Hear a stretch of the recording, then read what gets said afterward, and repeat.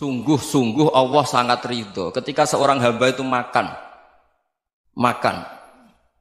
Makan ketika sesuap nasi dia muji Allah. Ketika minum seteguk nasi dia muji Allah. Itu kalau orang diridhoni Allah itu wali betul. Itu untuk jadi wali itu gampang. Kamu makan ridho.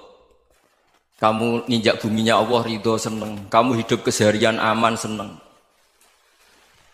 Nah ini supaya sampai kita semua lah, kita semua ngaji betapa panduan Rasulullah untuk menggapai ridho Allah itu banyak yang keseharian sekali. Saking kesehariannya banyak dalam hadis dan itu soheh. Nabi menyebut hal-hal yang keseharian. Hatta matas alu fi Kamu punya uang, kemudian istri kamu bisa makan, itu ibadah. Bahkan sebagian ibadah itu dicontohkan Nabi yang akhirnya diprotes sahabat.